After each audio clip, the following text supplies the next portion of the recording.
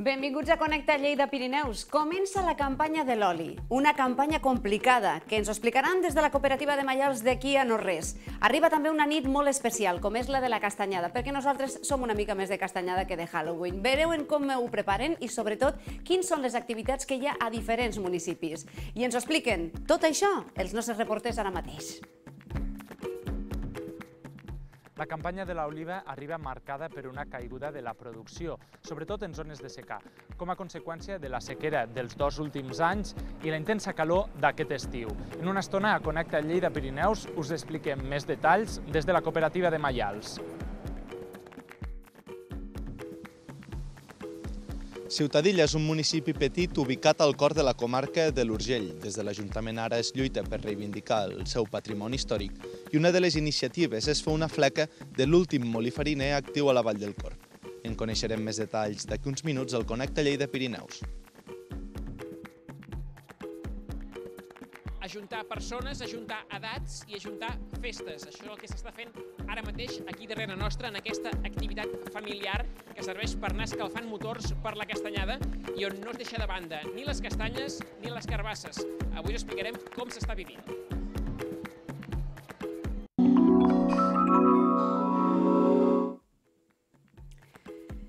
Les cooperatives lleidatanes eh, enceten la campanya de l'oli força complexa, marcada per la caiguda de la producció i l'encariment dels costos. Segons dades de la Federació de Cooperatives Agràries de Catalunya, es preveu que aquesta campanya hi hagi una davallada d'un 36% de la producció d'oli d'oliva de les comarques de Lleida respecte a la passada.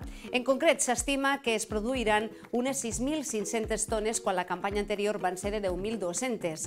Doncs anem a veure ara mateix eh, quins són els causants d'aquesta davallada de la producció. Josep, bona tarda. Podrem tindre ja respostes a aquesta pregunta?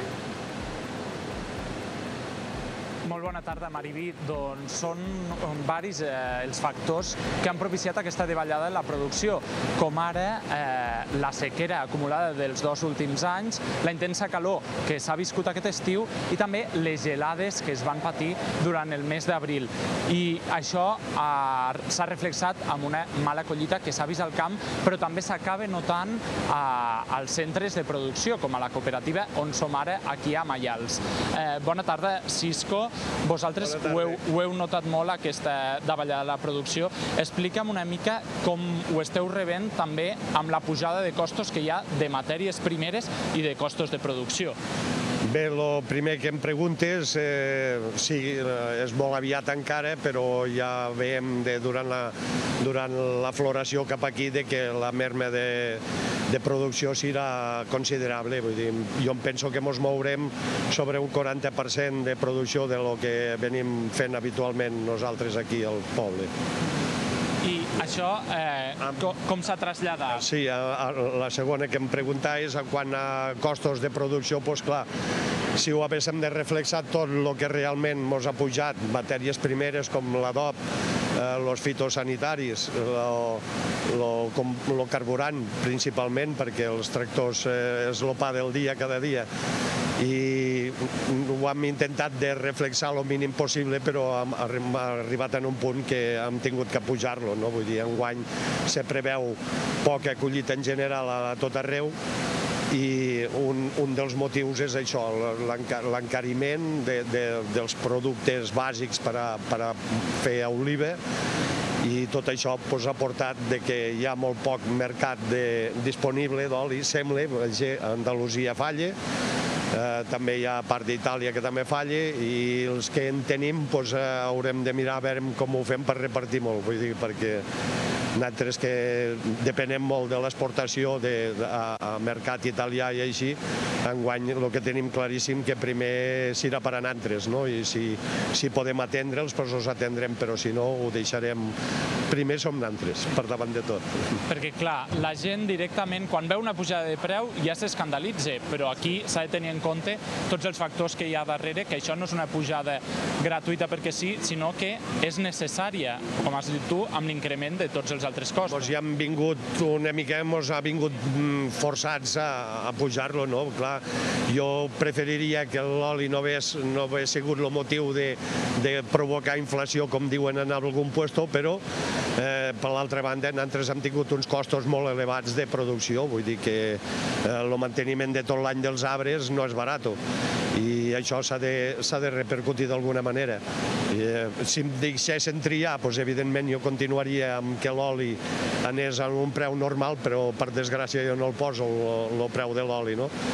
i, i degut a la falta de, de collita doncs això portarà, portarà cua perquè s'apujarà. Vull dir, en general nosaltres ja l'hem retocat avui per frenar una miqueteta la, lo final de campanya per poder enllaçar amb l'oli nou que ja comencem a, a produir estos dies però perquè s'havia donat aquest fet, no? de que hi havia gent especulant amb, amb els preus encara eh, baixos per aprofitar-se'n de, la, de la jugada i poder el vendre a, a, a, a, preu més alt, no? evidentment.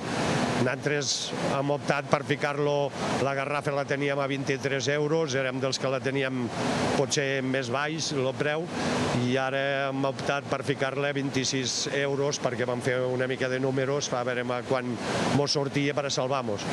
S'està movent per aquí a la zona de les Garrigues, eh, el que he sentit dir d'altres cooperatives és això, no? que se mourà entre 26 fins als 30 doncs, hi haurà, depèn de, de la quantitat de, de quilos que fa John Dolly cada, cada cooperativa, però el preu estarà movent-se sobre això.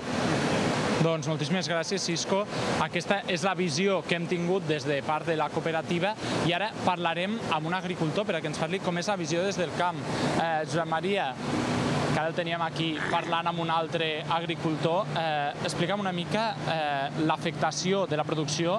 S'ha reduït tota la producció, però això no vol dir que el producte no segueixi tenint la mateixa qualitat. No, home, jo diria que al contrari. A menys producció sempre sortir, sortir més qualitat d'oli d'oliva.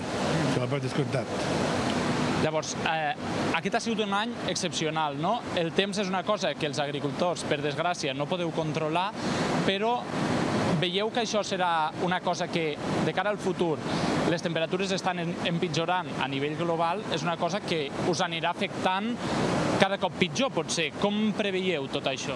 Bé, a veure, l'oliver, com tots els arbres, té moments crítics en els quals es pot afectar molt la climatologia. L'oliver té un moment crític a l'hivern, que si fa molt fred a l'hivern pot ser que toqui els arbres. A vegades, com enguany, no els arriba a matar, però això perjudica la collita de l'any vinent. Enguany vam tindre un hivern bastant fred i hi ha hagut moltes zones fondes que han tingut floració per culpa de que l'hivern va matar la flor. Un altre moment crític és el moment de la floració.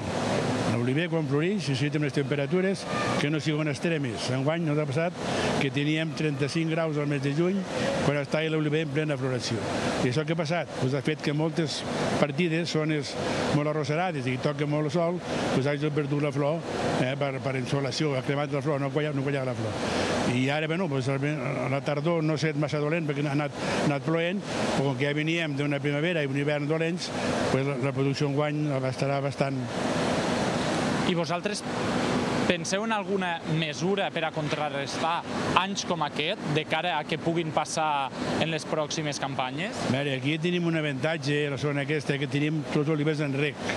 En l'aigua podem suplir alguna cosa d'aquestes, podem donar aigua, aigua a la primavera i que l'arbre agafa força, llavors arriben més, més força al moment de la floració. Però contra el clima no podem fer res, un clima extrem es pot, no es pot fer res, no tenim cap eina per poder lluitar contra el clima.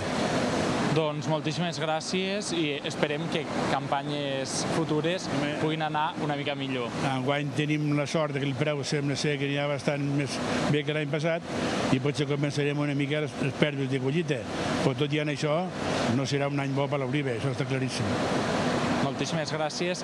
I així, com dèiem, aquesta serà eh, una campanya de l'oliva, una nova campanya de l'oli d'oliva amb una davallada molt forta, com hem dit, el 36%, i, però sense perdre aquesta qualitat que caracteritza a l'oli de Ponent, a l'oli de les Garrigues, que el seguirem podent disfrutar encara que sigui amb un preu una mica més car alguna cosa li diuen eh, l'or, l'or verd, o sigui que realment eh, és així, amb una grandíssima qualitat i un gran esforç que fan eh, tot el món de la, de la pagesia.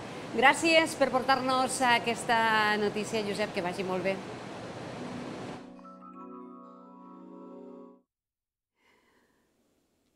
Els serveis informatius de Lleida Televisió ja ens tenen preparats un abans amb les notícies més destacades de la jornada. Núria, bona tarda. Què tal? Bona tarda. Avui a Notícies Lleida parlarem de com s'invertirà la nova injecció de fons Next Generation que ha rebut l'Ajuntament de Lleida i que servirà per reformar el Palau de Vidre. A la Granja d'Escarpi i Massalcoreig també s'actuarà amb fons europeus per restaurar l'ecosistema fluvial a la zona de l'Aigua Barreig. Coneixerem el projecte. També explicarem les reclamacions de l'associació Aspid avui, dia del dany cerebral adquirit que afecta unes 1.500 persones a Lleida, i coneixerem l'únic equip Ultimate Frisbee de la província. És un esport poc comú a Catalunya que es practica des dels anys 90 i que només necessita d'un disc volador i unes botes amb una sola de tacs. Tot això i molt més a partir de dos quarts de nou del vespre.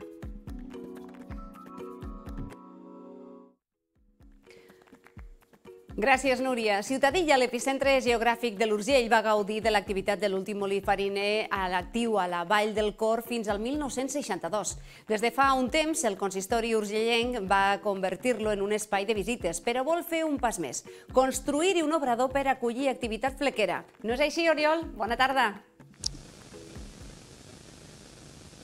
Bona tarda, Mariví. Efectivament és així. I tot això en el marc d'una clara inèrcia per voler reviure i reivindicar el patrimoni històric d'aquí de Ciutadilla. No hi ha ningú que ens ho pugui explicar millor que l'alcalde de Ciutadilla, l'Òscar Martínez. El saludem. Bona tarda, Òscar. Hola, bona tarda. Gràcies per estar aquí. Som conscients que el projecte és embrionari, però hi ha una idea clara de què es vol fer amb aquest molí fariner.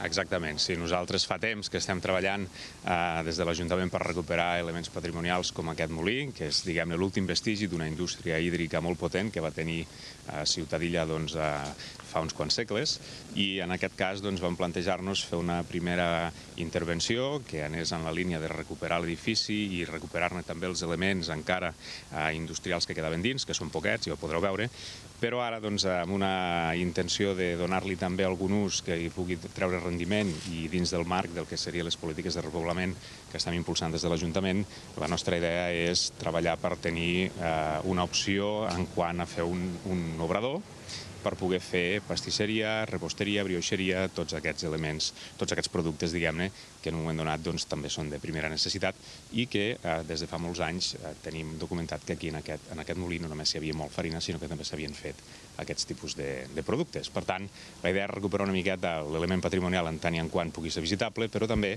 entrar en la dinàmica de buscar aquesta alternativa econòmica que permeti al municipi doncs, treballar-hi. Quin seria el següent pas per desencallar això? Ara mateix és una idea, és un projecte, què falta per poder començar a treballar? Bé, bàsicament, com en tots els projectes que es, es van eh, treballant des de fa uns quants anys, el que estem buscant sempre és la possibilitat de que encaixi realment i després, evidentment, finançament. En aquest aspecte tenim dues línies a les quals concorrerem per tal de poder eh, doncs, eh, tenir aquests recursos i, evidentment, doncs, per part de l'Ajuntament també hi haurà disponibilitat per poder-hi aportar el que sigui necessari en aquest, en aquest cas. I a nivell d'obra, què faltaria per, per adaptar-lo? Dir, ara tenim les eines econòmiques que necessitem, què n'hem de fer ara del molí?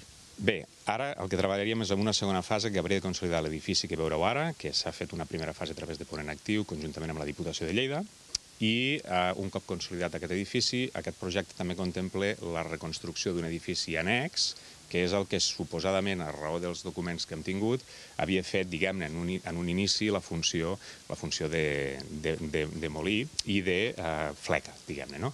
Durant molts pocs anys, perquè es va es va eh, fer el forn dalt al poble, a posteriori, i és evident que el forn al mig del poble doncs, donava molt més recorregut que no pas un forn aquí baix. Però sí que és veritat que en vistes d'haver recuperat aquesta documentació i tenir aquests indicis, doncs vam pensar que era una, una alternativa interessant en i en quant podia eh, facilitar, diguem-ne, la vinguda de gent que volgués treballar-hi, que volgués traurem a concurs, eh, fer-hi aquest tipus de productes i doncs, eh, distribuir-los eh, doncs, pels municipis d'aquí de la Vall del Corp eh, tant a la restauració, cafeteria, com als particulars i, per què no, si és que fan algun producte amb un factor diferencial o fet diferencial, també per internet, que avui en dia està molt, està molt, molt, molt oberta la cosa a vendre, i a més a més doncs, també com un reclam turístic, des de la vessant que tens un element patrimonial d'una indústria hídrica en repeteixo, que havia estat molt potent aquí a, la Llera del Vall, de la Vall del Corp, de Ciutadilla, i doncs, eh, un element més que tindries d'atractiu perquè um, insistim en la idea de que és, és, és un moment embrionari encara, però hi ha una anècdota que és del poc ressò que se n'ha fet, ja heu tingut voluntaris voluntaris, sí. gent interessada. Sí, exacte. Es va treballar amb el Gremi de Pastissers de Lleida, es va parlar amb ells perquè ens assessoressin, aquí donar-los les gràcies doncs, per, la bona, per la bona entesa, i és evident que en un petit moment es fa un petit article en un mitjà de comunicació que hi ha aquesta intenció, malgrat ho tenim encara molt, molt embrionari, i hi ha hagut gent que ens ha demanat de dir, escolteu, això ho tireu endavant, ens interessaria venir-hi, voldríem apostar-hi i podem posar diners, és dir, fins a aquest punt. No? Per tant, creiem que la idea, doncs, lluny de semblar una cosa estrafolària, tenint en compte que moltes fleques que s'estan tancant avui en dia degut als costos de, de, de la producció, creiem que és una idea que pot ser interessant des de la vessant de vincular-ho no només a recuperar el patrimoni, sinó a donar un servei de primera necessitat als municipis d'aquí de, la, de la Vall del Corp i a Ciutadella, evidentment, sinó també de poder generar una dinàmica econòmica i turística que pot eh, ser molt favorable pel, pel poble. Moltes gràcies, alcalde. Molt interessant, enhorabona per la iniciativa. Tant de bo acabeu trobant el finançament per desencallar i tirar-ho endavant.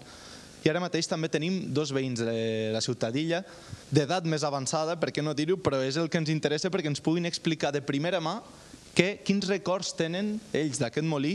Primer parlarem amb el Ramon. I amb el Ramon, al Ramon li volem preguntar què li sembla que d'un poble petit com és Ciutadilla, a l'Urgell, es faci una proposta així, un molí fariner, sí que te pot tenir un interès museístic, però es vol fer un pas més i és reactivar-lo, fer-ne una flaca. Què li sembla? A mi em sembla molt bé. Tot el que sigui al poble a fer el conèixer i així, a mi em sembla una cosa fantàstica perquè tots hi guanyem. Però moltes vegades ens queixem de l'administració. Els pobles petits no ens tenen massa en compte. Jo des d'aquí faria un, un, una crida a les administracions que pensés en altres. Ara ja ens quedem sense metge. Vindrà uns dies a la setmana, però cada vegada perdem més.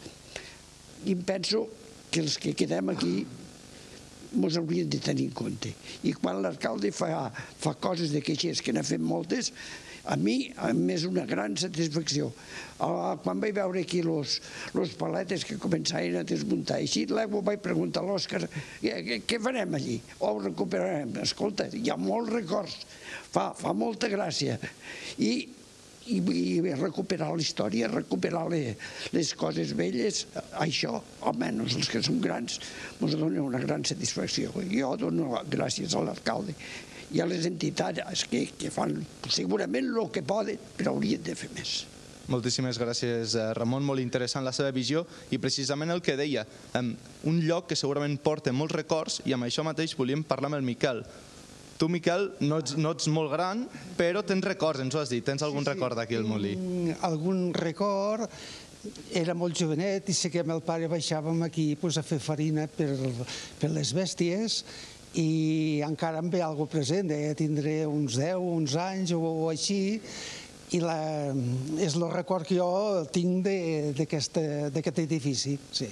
I veure-ho funcionar hipotèticament, posa-hi mesos, posa-hi algun any? Seria, m'imagino... Hombre, faré el no, el, a tope, llavors, sí, sí, sí.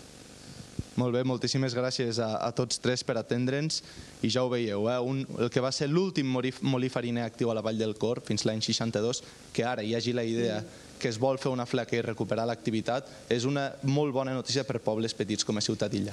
Una meravella, perquè ja a Ciutadilla ja és bonic per visitar-lo. Si tenim un altre element per poder anar, doncs ja qualsevol cosa és, és bona. Moltíssimes gràcies, Oriol, per portar-nos aquesta notícia.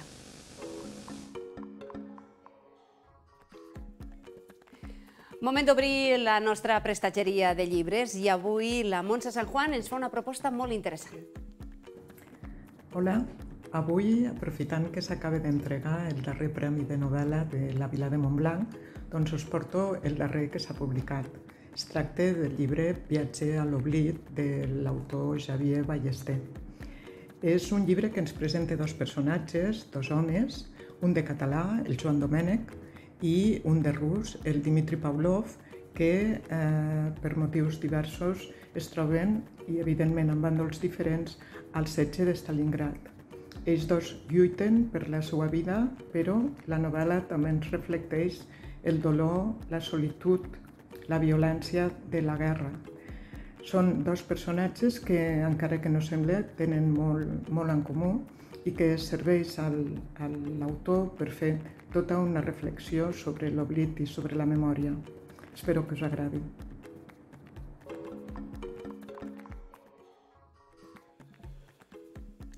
Cap de setmana tenim una cita amb la tradició de la castanyada. Alguns volen el Halloween. Aquests dies previs ja veiem com comença a coure la festa amb parades de castanyes, moniatos, encara que el temps no acompanyi del tot. I dintre de les pastisseries, amb la preparació dels panellets. Aquesta tarda a la Seu d'Urgell en tenim una altra mostra, perquè els infants i grans participen en una activitat per recuperar la castanyada, que estan acompanyats ara mateix l'Eva i en Jofre. A veure, Jofre, explica'ns com és això. Hola, bona tarda, Mariví. Doncs sí, aquí havien perdut dos elements essencials d'aquesta festa de la castanyada, que està a punt d'arribar, però després d'una recerca intensa els han recuperat i ara tots aquests infants que estan aquí reunits avui en aquesta activitat estan elaborant unes galetes. Ens acostarem a preguntar a alguns d'ells per saber exactament què han hagut de fer eh, i una mica com han viscut aquests moments. Tenim aquí amb nosaltres el Gerard. Hola, Hola què tal? I l'Astrid, que la tenim aquí. Hola, Astrid. Hola. Hola. Què estàs fent, Astrid? Ostres, Una galeteta, I li estàs eh? posant, què li estàs posant en aquesta galeta? Uns ulls i una cara. Sí?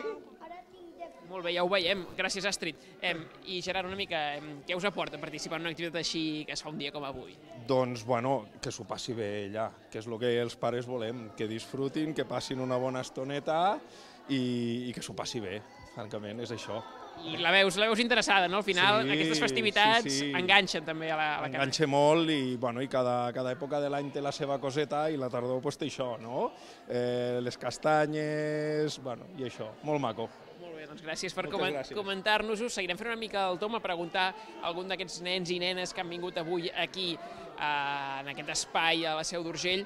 Eh, tenim aquí eh, l'Àlex i la Valentina. Hola als dos. Hola. Hola. Hola. A veure, esteu fent la vostra galeta també? Sí. I com estan en això? Que este- esteu fent alguna cosa decorativa? Com, com ho esteu fent? Eh, jo estic fent una carbassa. Tu, Júlia, encara no Aquí, aquesta. Eh, es- M'estic pensant el que fer i, a, i aquesta faré una cara. Una cara i una carbassa. I escolteu, fa uns moments què heu hagut de fer? Perquè s'havien perdut algunes coses i les heu aconseguit trobar. Com ha anat això? Sí, bé, perquè les hem trobat totes. Què heu hagut de buscar? Pistes. I, i, i després les pistes cap on us han portat? Què, què era el que s'havia perdut? La, la castanyada. La castanyada. I heu trobat les castanyeres amb les castanyes? I el marrameu també? Sí. També, molt bé. Em, Àlex, tu estàs a punt d'acabar això, què, et- què et falta aquí? Sí, ja ho he acabat. Ja ho tens, això llest? I després això t'ho menjaràs o què? Potser. Potser, no? o ho regalaràs a algú? Potser ho regalo o m'ho menjo. Bueno, molt bé, fa bona pinta. Doncs res, gràcies Àlex, us deixem aquí acabant de fer aquesta petita obra d'art també, eh, gràcies als dos, i anirem a parlar ara també amb unes senyores que són molt protagonistes aquests dies, tenen un paper molt important en aquesta festa, que són les castanyeres, evidentment. Les tenim aquí a les 3. Hola, a les 3, com estem? És molt bona. Escolteu, eh, quin ha sigut el vostre paper en tot això? Què esteu fent ara mateix? També que. Ara estem també fent les galetes de Halloween. Nosaltres també com uns més, no? Com uns més. Clar, però unes castanyeres fent coses de Halloween, això es pot combinar, no? No és incompatible. Bueno, jo què vols que et digui? Jo soc de, de la vella escola i penso que la castanyada, la castanyera, és una cosa molt tradicional de casa nostra. Aleshores penso que no s'hauria de perdre mai. Eh? És que el Halloween, tot això és... mm, Bueno, em, re- em reservo l'opinió. Clar, que, que, opinions de tot tipus, de tots gustos, i es, Ens agradaria més que continués la nostra tradició. reivindiqueu el vostre paper. No? La nostra, indiquem el nostre paper. El nostre paper, que la, la canelleta sàpiga el que és. Anar a buscar les castanyes i la festa que fèiem. Fèiem i no ara... El Halloween no ho trobo malament, però no s'ha de perdre la nostra tradició. país. És un altre país. És d'un altre país. I, esco- I escolteu, em, per què heu decidit participar vosaltres també en aquesta activitat amb la canalla? Què us aporta venir aquí? Bueno, doncs ens aporta estar doncs, a- amb, amb nens petits, amb, amb nens que ja fa molts anys que ja, que ja no tenim tan a, tan a prop. Eh? Encara que tinguem nets, però bueno, ja es fan grans. Ja són grans i després aquí també participar, perquè també per fer poble, que això és molt important. Bé, comunitat, al final tota aquesta festa és el que... Això és per fer poble. Què simbolitza la, la castanyada per vosaltres? Home, la Bueno. castanyada doncs, al principi de la tardor, la gent abans doncs, estava collint les castanyes, feien el foc eh, per coure-les, després com que hi havia moltes ametlles, doncs clar, Fèiem els- els panellets, Fèiem els panellets, i es, tot, es feia la festa doncs, el, tots a casa, la família, amics, menjant castanyes, moniatos i panellets. I panellets, I, i i moscatell. Moscatell, no ens, no ens l'oblidem. I no ens, podem ens, ens ensenyaven a fer els panellets. Els panellets els fèiem nosaltres, el que passa que ara... Bueno, els faig, eh? Bueno, Ja, però ara... Després, abans tampoc teníem totes aquestes tecnologies ni tot això, no ho sabíem. Això era... Abans era una, feina, una festa de família i res més. I, i de poc menjar. Després allò era una mica de festa, hi havia més coses, panellets que no n'haví- no n'havíem menjat mai. Moltes cases no sabíem el que era quan érem petites. Moltíssimes gràcies a les tres per explicar-nos-ho, per transmetre una mica aquest caliu eh, de la castanyada. Eh, I el que farem ara serà acostar-nos a parlar amb també una mica qui ha promogut, una de les parts que ha promogut eh, tot això, des del Pla Educatiu Entorn d'aquí la Seu, que conjuntament també amb la gent gran han impulsat aquesta activitat. Tenim aquí la Mireia. Mireia, hola. Hola, bones. Escolta, aquesta activitat que ja comença a ser tradició, no?, d'alguna manera, eh, què busca també, ajuntant generacions? Bueno, com el seu nom diu, és una activitat intergeneracional i el que volem és pues, fer l'aprenentatge mutu i que dels més grans aprenguin dels, dels petits i els més petits aprenguin dels més grans. En aquest cas, doncs, la tradició com és la castanyada, que l'hem volgut també barrejar una mica amb, amb Halloween, ja que bueno, a, a còpia d'anys doncs, està també força arraigat, i hem fet primer l'explicació doncs, de la castanyada i de, i de les cançons tradicionals del Marrameu i, i la castanyera i ara doncs, estan decorant galetes. És una iniciativa conjunta, no?, dèiem, eh, això entre gent gran, entre eh, també des del Pla Educatiu Entorn, eh, per una mica agrupar tots aquests espais aquí. Sí, eh, l'activitat l'hem organitzat des de l'àrea de gent gran de l'Ajuntament de la Seu, des de l'àrea d'infància també de l'Ajuntament i des d'educació, concretament des del Pla Educatiu d'Entorn. I hem demanat col·laboració doncs, això, a, la, a la gent gran, que ens ha vingut doncs, a- un músic a amenitzar, acompanyar amb les cançons i les castanyeres que ens han explicat el conte i bé, ara estem aquí doncs, disfrutant de, de l'estona conjuntament. I, I és una activitat familiar, la idea és, eh, o sigui, no és venir a deixar el nen aquí al taller o a la nena, sinó que, que comparteixin amb, amb família. Doncs gràcies, Mireia, també per comentar-nos-ho. Ja ho veiem, aquesta implicació de tots en un format d'activitat que la idea és repetir-lo en aquestes festes assenyalades del calendari, com en Mhm. aquest cas eh, la Castanyada Tots Sants, que és una festa que, com hem vist, serveix per moltes coses, per celebrar, també per recordar i, en general, doncs, per fer aquesta comunitat i aquest caliu. Que bonic, Jofre, moltíssimes gràcies. Fins demà.